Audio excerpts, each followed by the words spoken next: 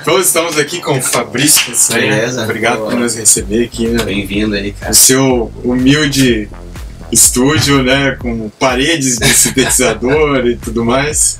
Bom, você está estreando aqui o nosso quadro Home Suite Studio, onde a gente Joia. vai falar dos espaços, falar é, de cada canto, cada produtor tem o seu espaço. né? Sim. E cada produtor trata ele de uma forma diferente. E como é que foi aqui, Fabrício, é, montar o espaço? É, então, é, quando, eu- quando eu vi- eu vim para esse estúdio aqui, a acústica era muito ruim. Eu procurei várias empresas e tal, e quem acabou resolvendo o problema do estúdio aqui foi um, foi um cara chamado Jorge Kirnish, que é um cara de São Paulo, que faz tratamento de estúdio e tal, trabalha com isso. E ele conseguiu resolver o problema aqui, que era um problema grave, cara. É, ao pé da letra, né? Era 47 Hz que ficava se batendo aqui dentro do estúdio. E, tipo, era impossível ficar aqui dentro, né? Tipo, o grave era muito forte. E aí ele, cara, conseguiu fazer uma, um projeto aqui que resolveu, mas, cara, foi bem complicado, demorou tipo um ano pra fazer. É para a galera entender um pouco, é, essa parte de, de monitoramento é muito complicada, né? Você, você tem que ter uma referência o mais flat possível sempre do, do É, ambiente. ex- é, existem programas que tu consegue medir, né? E quais são as ondas que estão se batendo mais, dando mais problema no estúdio. E aqui era, era 47 Hz, né? Quando a gente fazia a medição, 47 Hz ficava lá em cima. Que, é uma, que é uma frequência grave, né, cara? Pesada e isso de é quadrado, então, cara. Ela tem um punch, é, vamos dizer, onde começa quase o kick, né? Vamos dizer assim. Exatamente. Um Então, quem ficava principalmente atrás aqui no estúdio, cara, passava mal com dor de cabeça e tudo mais. Uhum. E eu não conseguia ter uma referência do som, né? Tinha que mixar no fone e tal. Fiquei bastante tempo com esse problema e eu chamei várias empresas aqui e ninguém conseguia resolver. Porque é uma onda pesada, é difícil de segurar essa onda, né? Uhum. E aí, cara, ele fez esse, esse projeto aqui, que tem, cara, várias camadas, é, é, lã de rocha, é, tinha que ser 80 milímetros cúbicos, foi dif- foi difícil de conseguir, tem uma membrana que absorve os- o, grave também e tal, tem mais uma outra parte na frente da, da- do projeto. Então tem esses dois bass traps aqui, que é o que realmente segura todo esse grave. É, que ele vem praticamente da ponta do estúdio até o final, né? E aí é o que faz segurar o grave e realmente o som melhorou muito aqui, né, cara? Uhum. Ficou muito bom. Hoje você já consegue ter uma referência. Sim, Mas- sim, sim, o som tá. Cara, ele realmente cara, tem a manha. E já, já tinham me indicado ele. É um cara que entende muito e realmente, cara, ele, pô, mandei é, as medições né, sonoras pra ele, é, as fotos, tudo de material que era feito e tal, e o cara resolveu o problema. Daí o resto tudo foi feito né, exa- exatamente pro estúdio. É vidro du- duplo na frente, a porta também segura o som, aqui tem os vinis também que dão uma segurada no som aqui e tal. Serve como dissipador também. Aham. Você escolheu ter um home studio justamente para ficar interagindo com a família. É, eu, cara, quando eu, quando eu, é, a gente construiu essa casa aqui, eu já pensei, cara, por que, que eu vou ter um outro lugar longe de casa, né? Se eu posso estar ali e tal, perto de todo mundo. Então, um conforto. E aqui é realmente onde eu passo a maior parte do meu tempo, né, cara? Eu praticamente aqui o quarto pra dormir, né? Uhum. Fico, cara, o estúdio aqui é meu videogame, é onde eu fico fazendo testes, onde eu. Cara, aqui é a minha casa, né? E a questão setup. Eu vi que, que você tem vários hardwares e tal. Uhum. Você gosta de mesclar essa parte de hardware? Depois a gente vai falar do, do monstrinho ali também. Sim, é, gosto, cara. Na verdade, eu, eu fico sempre trocando. Eu compro o synth, uso um pouco, aí não gosto, vendo, pego outro e assim vai. Então eu, eu acabei ficando com alguns synths. O estúdio aqui não é muito grande, então não tem que ter muito, muito equipamento, né, cara? Então é, acabei ficando com algumas coisas assim que são né, clássicas, tipo meu Moog e tal. E já tive mesa e tal, mas hoje, em dia eu uso o Sammy Mixer, que daí eu passo tudo por ele, cara, ele realmente ele dá uma tratada no som, deixa o som uma cara de analógico. E, cara, pra mim funciona muito bem, assim, resolveu meu problema, assim, de, de ter uma mesa e tal. Eu Uhum. tenho inclusive mixers e tal, mas ele é o que eu uso pra, Pra, depois que eu finalizo o som, né? Eu passo tudo por ele e aí sai uma faixa só. E para gravação você grava direto ou você chega a passar por um compressor, um amplificador? É, eu tenho o compressor aqui da, da UAD, que eu, que eu uso também. É, e aí o resto eu uso os plugins da, da UAD, que são muito bons, da placa. E, e passo o Summing, né, cara? O Summing realmente dá um gás, cara, incrível assim na música. Impressionante. A questão de DAW, assim, eu sei que você sempre dá uma mesclada entre Ableton e Lógico. e Logic, assim. A galera sempre me pergunta, ah, qual que é o melhor? Eu acho que não, não tem muito disso. Cada ferramenta, ela expõe um... É, eu uso mais o, o Ableton assim quando ou quando eu tô fazendo é, alguma parceria com, com outros DJs, outros produtores que bastante gente usa o Ableton. Ou, cara, é, sei lá, às vezes eu tô afim de usar ele, eu quero usar alguma coisa mais com sample para trabalhar com áudio, ele é mais fácil. E, mas as- eu fico mesclando, assim, uso um pouco Logic, daí uso um pouco Ableton, tem, cara, acho que meio a meio, assim, as músicas, projetos Logic, eu acho que cada um tem seu lado bom, mas na verdade os dois fazem a mesma coisa.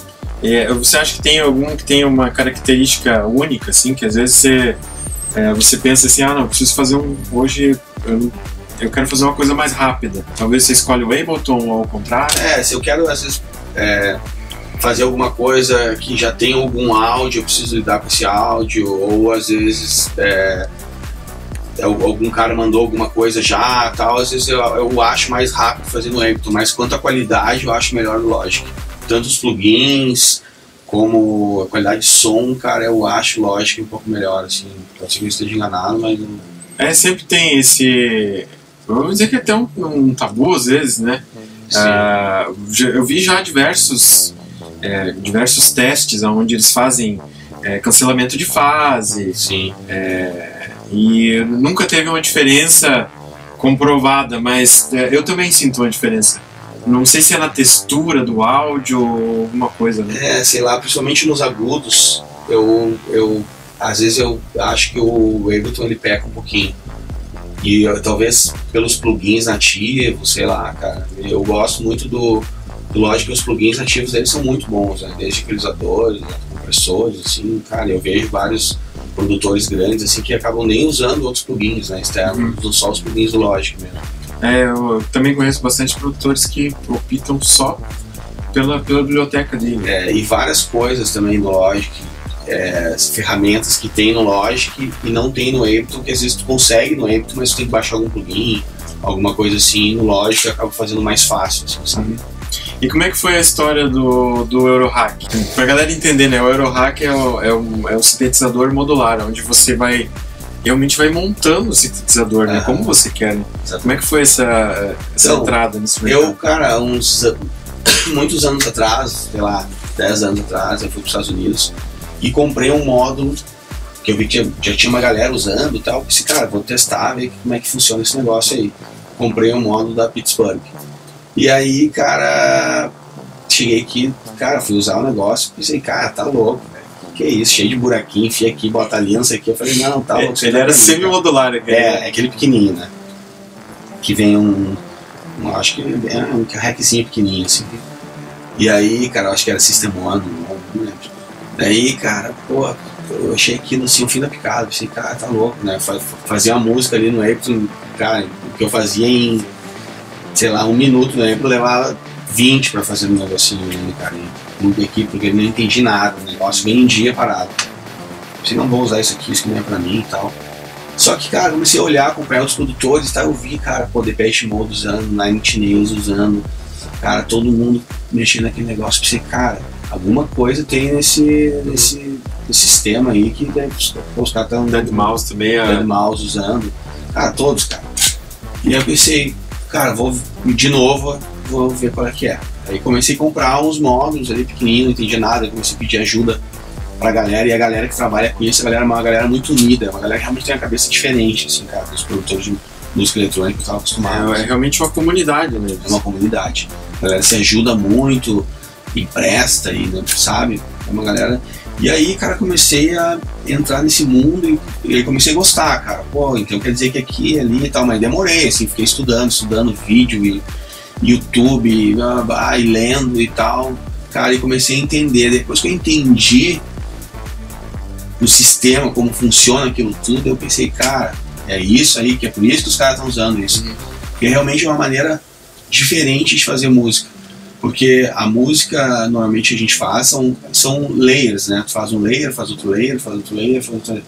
E as coisas meio que não interagem entre si. Poucas coisas interagem entre si, como, sei lá, sidechain, por exemplo. Uhum. E o modular não, o modular tudo interage entre si, não existe, não são layers, as coisas vão interagindo uma com a outra, tu liga uma coisa que influencia na outra e o elefante vai pro outro.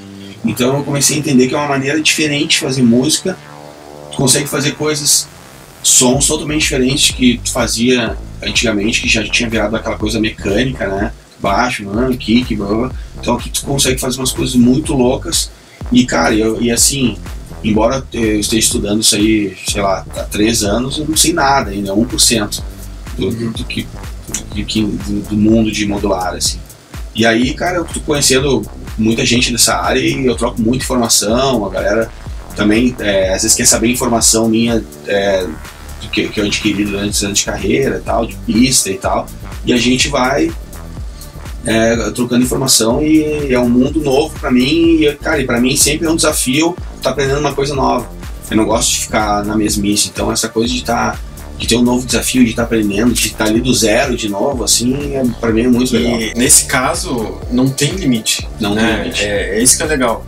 Porque também pra galera entender, é, quando você vê um sintetizador, seja ele analógico ou, ou um VST digital, se você olhar é, a fundo ali, né, você vai ver os módulos. Sim, Eles também se completam, mas é um circuito fechado. sim. Já no- na parte modular, é, realmente é infinito. Você pode montar o que você Exatamente. quiser, né? E, e também para mim foi um- uma grande experiência porque eu comecei a entender mais, estudar mais, ser obrigado a estudar mais sobre síntese de som, ondas, coisas assim que às vezes como produtor tu vai pegando preset e tal, que quer agilizar a coisa e tu acaba deixando de lado um pouco dessa história de que a fundo da música, né? E aí eu comecei, cara, a entrar nesse mundo, assim, e o mais engraçado, o módulo que eu vendi pro cara em Floripa, eu acabei comprando de volta. eu botei aqui no Mercado Livre e comprei do cara e acabei comprando o módulo de volta. E, cara, e, e é muito legal esse mundo do módulo em si, não só pela, pelo equipamento, mas a galera que tá nesse Comunidade. mundo é muito legal. Tipo, cara, apareciam uns caras aqui que quando eu ia comprar módulos, assim, uns caras que tu dizia, cara, esse cara não trabalha com música nem fudendo, entendeu? O cara mega assim, tipo, gravata, sei lá, sabe? E aí, cara, eu ia ver, o cara era, porra, produtor modular, sinistro, tocava na China e tal. É que tem. é, a galera também conhece só essa vertente, vamos dizer assim, mainstream, né? Que é, É, que é balada, é você tocar como DJ, Exatamente. alguns lives e tal que levam. Mas tem essa outra gama de música experimental. Exatamente, Na Europa é que muito é forte. muito legal, cara. E é muito legal porque é, cara, é um outro lado que a gente não tá, a gente que trabalha com né, dance music e tal, a gente não tá acostumado e tal, né? E, cara, e, e, e tem umas piras, os caras ficam às vezes fazendo barulho. Ué, ué, ué, ué. Eu tipo, tá, mas. Não, eu falei, não, isso aí é o som do cara, tá ligado? Ele ficaria experimentando som e uma galera sentada olhando, entendeu? E o cara ali pirando. Seria uma música clássica eletrônica, quase, É, né? Uma- exatamente. Uma música experimental mesmo, né? Um Experimental. jazz eletrônico, vamos dizer É, assim. e tipo assim, a, e, a, e a- o legal que eu, que eu escuto às vezes, assim, cara, e eu penso, porra, cara, que aprendizado. Tipo, esses dias eu vi um cara também falando, ah, não, porque tem um synth que agora tá simulando a, a TB 303. Daí um dos caras do grupo lá do modular falou, cara, tem tanto som novo pra descobrir, vocês estão lá tentando reformular, Tentando- refazer um som que já foi feito, entendeu? Então, é exatamente o que eu penso. Eu pensei, cara, essa turma aí é minha galera, velho. Os caras tudo maluco, experimentando som, ficando pirando, e aqui é exatamente o que eu fi- fico fazendo, que fico tentando descobrir sons, ondas novas, e, e timbres novos, e, e como fazer e tal. É, louco. Até assim, é, a gente tem uma dificuldade ainda que a gente está no Brasil. É, tem entusiastas aqui que eu sei que produzem, tem a MW, você tinha falado de outro produtor, né? É, Pantala, Pantala Labs. É, é que você tem até mais pra frente tem uma novidade aí que você vai trazer ah, né, sim, exatamente. É É. um cara também que me ajuda bastante, cara. Uhum. Que é o cara que, pô, me, me dá vários toques também. É, é engraçado, assim, né? Porque você é, vê tantos nichos, tanta, é, tanta coisa que às vezes você não, não, não, não sabe mensurar onde que chega, né? Essa, É, exatamente. É, então eu tinha uma noção, pô, né? Tô anos trabalhando com isso, tenho, sei um pouco. Quando eu cheguei nesse mundo, eu vi que eu não sabia nada. E isso pra mim foi muito interessante, porque eu pensei, cara, tem mais um caminho gigante pra me divertir aí, entendeu? Exato. Então, exatamente. Então eu pensei, cara, olha só quanta coisa legal pra aprender e tal. E aí eu comecei a entrar e comprar um, um módulozinho, um outro módulozinho, um módulozinho, e quando eu vi já tava assim, cara, e, e, e eu já quero pegar mais coisas, e, sabe? Aí já, tô, já, já troco outra coisa que eu não uso com módulo, e já tô entrando nesse mundo. É engraçado que tem empresas, é, vamos dizer assim, que vendem isso há muito tempo, que estão se preocupando, né? Já estão colo colocando à disposição maneiras de você interagir com os módulos. É. É, o modular, na verdade, é super antigo, né? Acho que é dos anos 50, 60. Foi criado é, pela, se não foi pela, Dolphin. Daí foi meio deixado de lado e nos anos 90, com, a, com o crescimento da era digital ali e tal, os caras meio que voltaram a usar. E, e, e descobriram essa maneira nova de fazer música, interligando as coisas tal, e poder criar o teu próprio synth com sequenciadores, com filtros diferentes, né? Porque o synth, o synth na verdade é a mesma ideia, né? São envelopes, LFOs, volumes, mix e tal, é, VCOs, VCA, só que é uma coisa exatamente fechada. Às vezes tu quer um, um, filtro de outra marca, tu pode usar o filtro de outra marca, tu pode usar às vezes um, um filtro como VCO, ou tu pode usar um LFO para fazer uma coisa que não tem nada a ver com LFO, entendeu?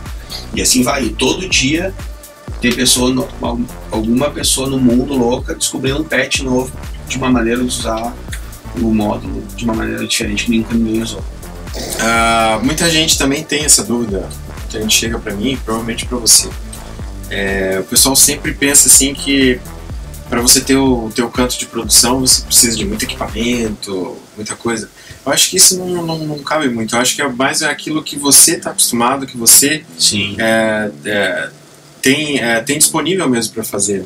Claro, é, não, cara, eu conheço mil casos de pessoas que têm estúdios gigantescos com, cara, milhões de sintetizadores, milhões de compressores, equalizador que custam 20 mil reais e, cara, não sai uma música. E aí eu conheço cara que tem ali um laptop, fone de ouvido e já, já fizeram várias tracks. Então, tipo, isso ajuda, claro, é legal, principalmente pelo conhecimento. Quando tem sintetizador, tu vai saber mexer, pô, tu entende o que é uma onda, como é que as ondas se juntam, como fica, como fica o filtro. É legal, entendeu? Sempre quando tem sintetizador, tu vai aprender a mexer e esse aprendizado vai levar pro resto da vida. Mas isso não é o essencial. Né? Notei aqui que você tem a tua coleção de discos. Quantos discos você tem? Cara, eu acabei ficando com os principais, assim, não, eu acabei vendendo, perdendo muito disco e tal. Mas, cara, eu acredito que deve ter, sei lá, uns 3 mil discos. Eu acredito que essa média talvez um pouco mais. Que é legal também você ter no teu estúdio esse canto para você é, escutar as referências que você tinha, que você sim, tocou. sim. Enfim, eu acho que isso é importante. Às vezes o pessoal esquece disso também né, na parte de produção. É, cara, eu tenho um carinho é, especial pro vinil, né? Porque foi como eu comecei. Então, se eu pegar toda a minha carreira hoje, eu toquei muito mais com vinil do que qualquer outra coisa. Então, eu tenho, pô, às vezes eu gosto de pegar, escutar, mixar, sabe? É legal, né, cara? É, uma- é uma, é, é também uma maneira diferente de, de lidar com a música, assim, entende? É diferente tocar com, com MP3 e tal, né? Uhum. Claro que a praticidade acaba, né, hoje em dia ganhando, né, cara? Uhum. Porque, principalmente no Brasil, para te trazer vinil, pagar imposto, pô, uma música, pô, tem que pagar petróleo, pagar o governo, pagar não sei o quê, então sai muito caro ter uma música, né? Uhum. É prazeroso, mas não vale a pena. Então, e o MP3, pô, tu vai ali, antigamente tu, tu achava uma música legal, tu encomendava e daqui um mês tu podia tocar ela, entendeu? Hoje em dia tu vai ali baixa na hora e. É, eu, eu lembro do tempo que a música durava um ano. Exatamente. Você poderia tocar um ano a música. exatamente. E hoje em dia é, é totalmente inviável isso. É, na música é, não ficou supérfluo, assim, mas, cara, é tanta coisa, né, cara, que a galera acaba, toca um pouco a música, depois já vem outra coisa, já entra naquele espaço ali e vai. E, e é legal isso do formato, né? É, Quanto que pesava uma bag com 90 Tá louco, minis? né, cara? O cara fazia malhava, todo DJ era malhado, né, cara?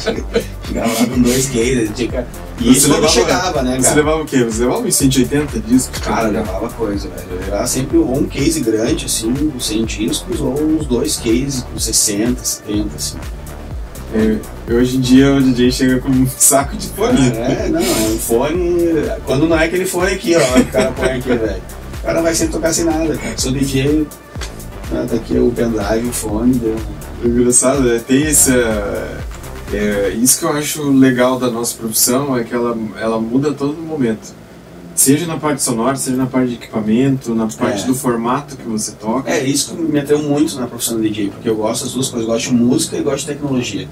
Então, cara, juntou as duas coisas ali, então você tem que saber lidar com as duas coisas. Se não sabe lidar com uma delas, não consegue ficar na profissão. E uma, mais uma coisa que eu gostaria de falar também, que eu acho importante, eu sempre falo isso, enfim, é onde eu dou aula, é, eu sempre falo que hoje o, o artista eletrônico, eu nem chamo mais de DJ, que já mesclou as coisas. Sim. É, o artista eletrônico ele tem que ter o lado empreendedor também, né? Sim. E você tem sua loja. é, como é que foi assim também expandir um pouco desse teu universo? É, cara, isso começou muitos anos atrás. Eu, eu é, tocava tal. E, cara, eu sentia assim, pô, que se eu meio que dependesse dos outros, as coisas não iam andar, sabe? Tinha galera que tinha suas preferências e tal. E aí eu comecei a fazer umas festas lá em Porto Alegre. E aí, cara, comecei a fazer umas festas, aí abri uma agência, que era, o nome era Resistência. E aí dessa agência a gente começou a fazer cursos, fazer festas, aí fazer rave, abrimos um clube. E cara, e aí, cara, eu comecei Era espinho. que é espinha. E aí a gente fazia as festas chamadas Futronic, lá em Porto Alegre, cara, e, e ali eu vi que eu vi assim, pô, o mercado de música eletrônica é muito maior que simplesmente tocar. É um mercado gigantesco e, cara, é legal, é super legal tu chegar e dar um curso de DJ, ensinar uma galera nova que não sabe, tu poder trocar conhecimento. É legal tu fazer uma festa e pô, ver a galera, sabe, ali curtindo todo aquele trabalho que tu fez. Então, existem é, todos esses caminhos, assim, que eu comecei a gostar de, de trabalhar com isso, né, cara? E aí, pô, surgiu. é, a gente tá sempre meio que pensando em coisas novas. Ah, vamos fazer uma festa, vamos fazer um label, vamos fazer fazer a loja. Aí muita gente, e, e as coisas normalmente vêm da, da necessidade, assim, muita gente pedia, cara, pô, eu queria uma camiseta tua, queria um boneco teu, ou, pô, aquele óculos que tu usou, tal, onde comprou, e direto isso a gente, cara, vamos, vamos então fazer uma loja, né? E aí a gente acabou fazendo a loja. Agora a gente, há uns meses atrás, fez a parte da loja de serviço. É, muita gente também vinha, pô, quero aprender não sei o que, cara, eu quero ajuda nisso, quero.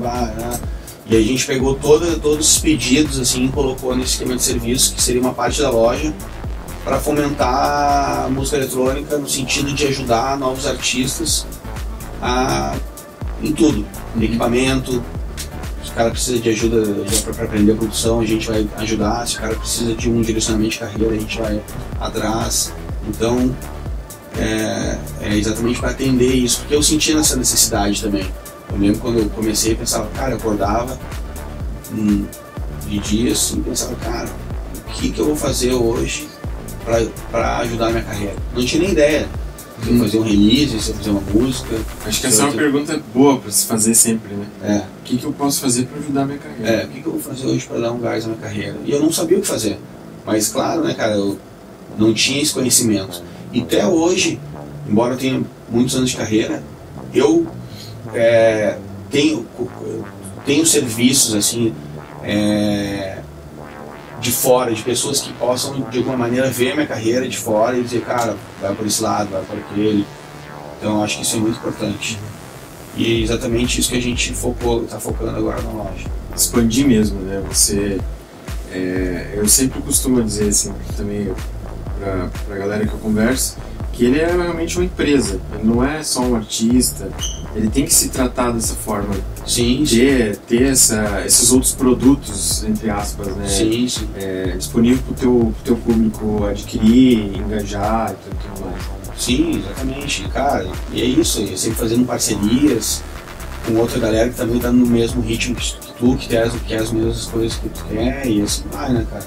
Então, é muito da escolha do artista. O artista ficar ali, sentado, esperando alguma coisa acontecer, pode ser até que aconteça, né, cara? Mas se não acontecer, ele vai continuar no mesmo lugar. A chance é menor, né? Exatamente. O cara, não adianta ele querer mudança se ele não mudar e não fizer alguma coisa diferente. Então, ele é isso, cara. Tem que ir, ir atrás de, de, de, de ajuda, ir atrás de pessoas que. de parcerias, né, cara? É isso aí. É, o nosso mercado às vezes é muito carente disso, de, de realmente as pessoas se unirem para uma, pra uma, pra uma determinada causa, né? Sim. Que é, que é, como você falou, você é, passar conhecimento, ajudar novos artistas, eu acho que isso é uma premissa muito boa. Sim, exatamente. É, a nossa ideia realmente, cara, não é uma ideia financeira. É uma ideia de realmente fomentar o mercado. E quando isso acontece, acaba todo mundo ganhando com isso, né, cara? Porque, Tipo, quando eu fazia as festas em Porto Alegre mesmo, fazia esses cursos e tal, cara, sendo em Porto Alegre, cara, deu um boom gigantesco, assim. Mas por quê? Pô, porque a gente tava ali ajudando e, e a gente também ganhou com isso. Pô, a gente acabou ganhando o clube, tinha um público super fiel e tal. Então todo mundo sai ganhando com isso. Então eu queria agradecer demais, cara, o bate-papo. Pô, eu que agradeço pela oportunidade aí de. E a gente vai fazer mais brincadeiras falar aqui. galera. É... Queria que você deixasse sua mensagem aí pra todo mundo, teu público. Pô, primeiramente queria agradecer pela oportunidade aí, cara, valeu, mano, muito legal estar falando com a galera aqui, falando um pouco da minha experiência, um pouco da minha vida.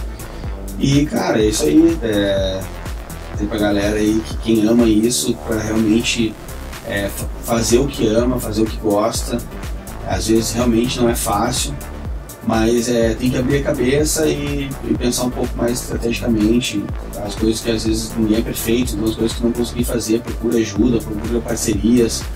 É, pensa nisso, que a música eletrônica não é só tocar, não é só festa, existe uma gama gigantesca de coisas para fazer, que são igualmente prazerosas. E, cara, e, e, é- e continuar sempre aprendendo e, e se divertindo, acho que é esse o segredo.